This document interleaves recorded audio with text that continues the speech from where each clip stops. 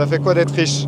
Il y a quelques semaines, on a organisé notre mastermind et un de mes participants, c'est ce qu'il m'a demandé, qu'est-ce que ça fait d'avoir euh, un million d'euros sur son compte en banque? Alors dans cette vidéo, on va vous expliquer bah, ce que ça fait euh, d'être riche. Même si finalement, peut-être le premier truc qu'on peut dire, Bah, c'est que Bah. ça fait pas grand chose quand même. et que finalement, même avec un million d'euros sur son compte en banque, on se sent pas si riche que ça. Ouais, grave. Tu sais, c'est vraiment ce que nous disait Eric Larchevêque, je trouve. Ouais. finalement, avec un million, qu'est-ce que tu fais? Alors, ça peut paraître un peu catchy, mais tu fais pas grand chose quand même. Ouais, c'est vrai. Après, moi, je pense que aussi ce qui s'est passé, c'est que c'est pas comme si tu gagnais au loto et que du coup, du jour au lendemain, tu te retrouvais de zéro avec un million d'euros. Non, mais bien sûr. Du coup, tu as le temps de euh, t'habituer, euh, etc.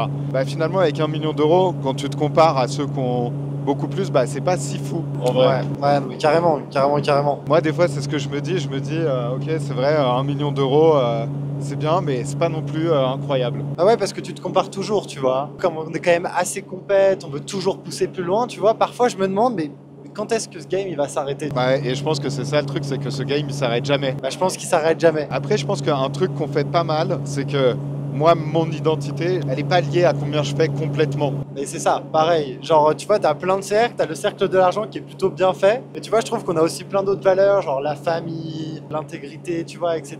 Le sport, tu sais, c'est un peu genre euh, des petites buckets que tu remplis au fur et à mesure. Bah là, le bucket de l'argent, il est pas mal, mais finalement, il y a plein d'autres choses euh, qui sont importantes, tu vois. Un des, un des coachs que j'avais eu, à un moment, il m'avait dit fais attention à pas devenir un mec qui a une seule dimension, qui est très bien faite dans sa vie. Et que du coup, il y a des entrepreneurs qui ont euh, peut-être 10 millions d'euros sur leur compte en banque, mais ça devient presque des autistes. C'est parfois un peu des autistes qui oublient de profiter de la vie. Et pareil, tu sais, je, euh, je parlais avec un, un des participants du mastermind qui me disait que même il y a des mecs qui sont, je sais pas à combien ils ont, mais pas loin d'être milliardaires. Ouais. Et en fait, s'ils font pas plus, ils ont l'impression bah, que leur valeur, elle est pas bonne. Non mais carrément, mais c'est pour ça que moi je pense quand même faut trouver le bon équilibre. Et c'est vrai que quand on était, tu vois, sur l'île de Richard Bronson, là on voyait des milliardaires, genre ils avaient 40 ans mais t'as l'impression qu'ils avaient 80, tu vois. Ah ouais, et ça c'est vrai que c'est le truc sur lequel, dans lequel il faut pas tomber quand même. Et du coup j'avais cette euh, anecdote, tu sais, de quelqu'un qui était genre milliardaire, et en fait il avait un milliard, et du coup sa boîte elle était cotée en bourse, mais il était à une soirée euh, sur un yacht, et là il y avait quelqu'un qui lui demandait ah, qu'est-ce que tu fais toi dans la vie, il dit ah j'ai une boîte, il disait ok elle vaut combien? Et du coup le mec lui a dit bah un milliard, ce qui en soi c'est énorme, mais c'est juste que l'autre sa boîte elle valait 10 milliards. Et du coup il se disait pas ouf tu vois. Et du coup je me dis nous, on n'est pas à 1 million par mois, on est à 500 000 euros par mois, par exemple.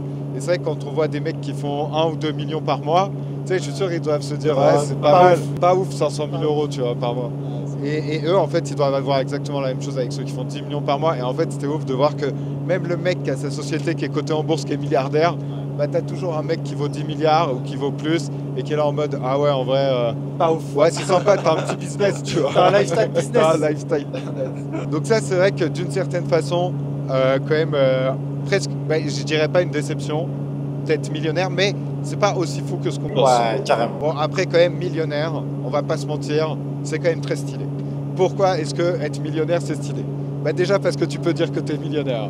Et moi, je sais que quand euh, je dis ça euh, à des gens que je connaisse pas, ce qui arrive pas très souvent, je flexe pas là-dessus, mais les gens, ils disent euh, Ah ouais, il y a beaucoup de gens qui pensent qu'on on ment. Ah ouais, c'est on est ouf. des arnaqueurs. Surtout vraiment, on est sur le millionnaire, mais le millionnaire le plus pur, tu vois. Genre, c'est plus d'un million euh, en Cash. dans le compte en banque. Tu vois, on prend même pas la valorisation de notre entreprise et tout, parce qu'en vrai, si tu prends ça, bah là, ça compte pas, c'est pas du jeu, tu vois. Mais, et, et c'est vrai que je pense qu'on on doit être les seuls. euh, Il n'y en a pas beaucoup de millionnaires qui ont juste un million d'euros sur leur compte en banque. Beaucoup nous diraient que c'est complètement débile de faire ça. Mais les mecs qui ont plus que nous, généralement, ils nous disent pas ça. Ils nous disent pas que c'est bête. Et je me souviens, tu sais, un de nos mentors, il nous avait dit tu peux aller jusqu'à un million d'euros, euh, va jusqu'à un million d'euros cash sur ton compte en banque. Et une fois que tu auras ça, tu te demanderas comment l'investir, etc. Mais il disait quand même que quand tu as ça, ton identité, elle change. Ouais, grave. Et ça, je trouve que c'est vrai. Déjà, pouvoir se définir comme millionnaire, Ouais, c'est ouais, sympa. Et puis te dire que tu vois, moi je fais des calculs parfois, je me dis, qu'imaginons que tout s'arrête, combien de temps tu peux tenir en mode survie comme quand on était vraiment broke de chez broke il y a 3 ans? Toi, tu penses que tu peux tenir avec combien par mois? Bah, je crois que je peux tenir vraiment, je pense avec 600 euros par mois, je peux tenir, euh, c'est- c'est mode survie, mais ça tient, tu vois. Ouais, je suis d'accord. Je crois que je pouvais tenir, euh, bon, faudra refaire les calculs, mais je crois euh, bien Très, très euh, longtemps. très longtemps, plus de 30 ans, je crois. Je trouve que ça amène de la sérénité pour nous, mais aussi finalement pour notre famille. Tu sais que whatever happened, genre avoir de l'argent, ça résout tous les problèmes que tu peux avoir liés à l'argent, tu vois. Et donc du coup, quand même, il y a beaucoup de problèmes, problème et puis ça ajoute de la friction, etc. Ouais, c'est une phrase que j'aime bien qui disait euh, si t'as un problème que l'argent peut résoudre, alors t'as pas de problème. Et quand même, l'argent résout beaucoup, beaucoup de problèmes. Et à 1 million d'euros, on résout pas tous les problèmes encore, mais c'est vrai que ça amène beaucoup de sérénité. Et je pense même pour euh, notre famille, savoir que s'ils ont un gros problème, bah, ils peuvent nous demander. Donc plus de sérénité pour nous, plus de sérénité euh, pour notre famille. Au-delà de ça, c'est vrai que la vie est quand même beaucoup plus douce et elle est beaucoup plus cool quand tu as un million d'euros sur ton compte en banque. Évidemment, là on peut vivre des expériences comme ça quand même en jet privé. c'est la première fois qu'on le fait, c'est Alors, la on prend première jet fois. privé avec toute la famille et ça c'est vraiment. Je pense quand même que ça nous permet de faire quand même des expériences qui sont extraordinaires. Ouais, ça c'est vrai. Est-ce que ça nous rend plus heureux? Un peu quand même. Moi je trouve que l'argent rend plus heureux Ouais, et c'est ça le gros mensonge que les gens croient en vrai. Ouais, ouais. Et a beaucoup de, ça crée beaucoup de croyances limitantes, de choses comme ça. Ce qui est tricky, c'est ce qui est un peu piégeux, c'est que des fois on oublie la situation dans laquelle on était. Et moi je me souviens quand j'ai tellement short sur mon compte en banque que même m'acheter un croissant c'était hors budget. Et t'oublies ce que ça fait comme sensation. Et du coup c'est pour ça que c'est dur de comparer. Mais bon évidemment euh, quand t'as beaucoup plus d'argent, euh, Puis tu vois, ça rend la vie plus douce. Je trouve on peut faire plus d'expériences.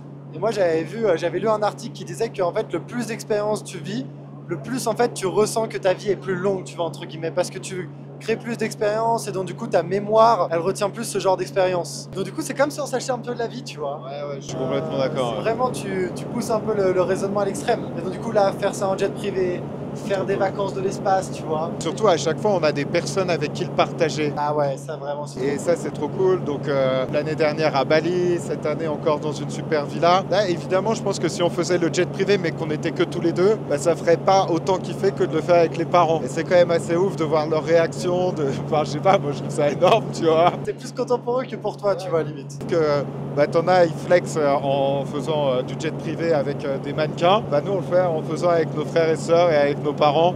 Et ça, c'est quand même très cool. Ça, c'est chouette. Après, moi, je trouve que tu, rends- tu te rends compte de qu'est-ce qui te rend heureux dans les choses un peu que tu peux acheter.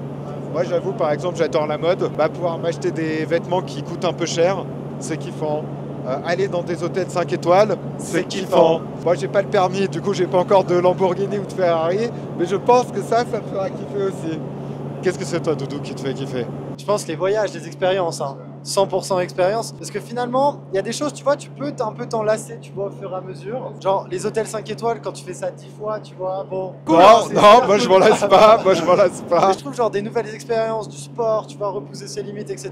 Les voyages de l'extrême, ça c'est. Ouais. Et un truc aussi qu'on n'a pas dit, mais sais, sur le fait de. Ça, c'est vrai que c'est les choses très cool, mais je sais que par exemple, quand dans notre famille, certaines personnes avaient des soucis, pouvoir prendre un super avocat, pouvoir prendre un super coach. Là, nous, on a notre super coach, et sa fille, elle coach notre mère, ta copine, notre sœur. Et évidemment, les meilleurs coachs du monde, ils coûtent cher, mais pouvoir payer ça, moi, je me disais, c'est un peu comme si tu achetais des années de vie aux gens de ta famille. Grave, grave. Toi, tu sais, quand tu t'es dit, genre, que maman, par exemple, elle avait des problèmes, elle commençait à avoir des problèmes d'ostéoporose, Ouais, et que du coup tu dis ok bah là pas le choix tu prends un coach bah et ouais, du coup ouais, quand tu fais ça bah, finalement tu achètes des années de vie presque à 100%. quelqu'un Tu vois, tu as plus euh, Dubaï, il y a plein d'endroits où tu peux faire plein de tests, etc. C'est des tests qui coûtent cher. Mais finalement, en fait, quand tu écoutes les, les podcasts des milliardaires et tout, ils font tout ça en fait. Bah tout ouais, le temps, tu vois, ouais, ils font un check-up complet tout le temps.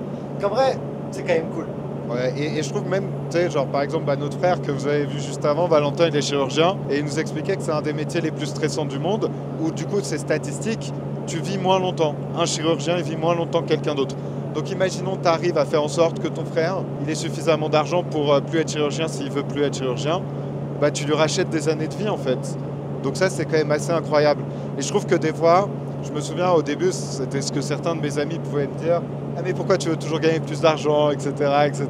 Bah en fait, quand tu réalises que si tu le fais pas pour toi, tu peux le faire pour les autres, je veux dire que tu as des grosses raisons de vouloir gagner plus d'argent. 100%.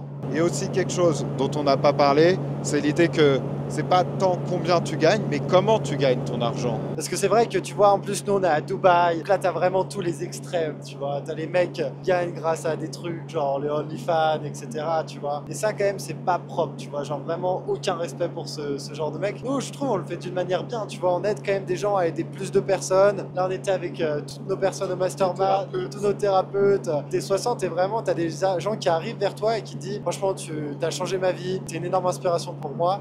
Et ça, c'est c'est quand même vraiment stylé, tu vois. Et c'est cool. Et même, tu disais, tu sais, les gens qui te reconnaissent dans la rue, qui te demandent des ça c'est selfies. cool, ça c'est cool. Ça c'est cool parce que en fait finalement même à notre petite échelle, moi en plus j'ai vraiment 300 abonnés sur Instagram. tu vois, je n'ai pas d'abonnés sur Instagram et je ne comprends pas comment des gens peuvent me reconnaître. Mais ça c'est trop cool et puis les gens ils sont toujours euh, euh, hyper euh, hyper sympas. Et puis même moi honnêtement avant d'avoir ce truc là, je disais ah non mais en vrai c'est c'est cool d'être anonyme et tout. En vrai c'est quand même cool d'être connu. Surtout quand t'es connu genre pour une raison hyper précise, tu vois. Dans une verticale qui est les entrepreneurs et c'est des gens que bienveillants, tu vois. Et moi, j'aimais bien cette phrase que je cite souvent aux gens de mon équipe. C'est euh, Steve Jobs qui disait euh, Qu'est-ce que tu fais pour rendre le monde meilleur? What do you do to make the world a better place? Et quand même, la réalité, c'est que si t'as pas d'argent, tu vas pas pouvoir changer grand-chose dans le monde. Et que toutes les personnes, alors évidemment, or si tu prends Jésus, Gandhi, les personnes comme ça, mais si tu veux faire des grands changements dans le monde, tu as quand même besoin d'argent. Et en plus, tu peux gagner de l'argent. Plus tu gagnes d'argent, plus tu résous un problème qui est gros. Et nous, on aide juste des gens à aider beaucoup de gens. Donc tu peux gagner d'argent en faisant quelque chose qui est bien. Et je pense en vrai, on peut finir euh, la vidéo sur euh, ce point-là. Donc être millionnaire, ça fait quoi d'être riche? C'est très cool, mais c'est pas qu'une question d'argent. C'est aussi beaucoup le sens de quelle contribution est-ce que tu fais euh, au monde. Au monde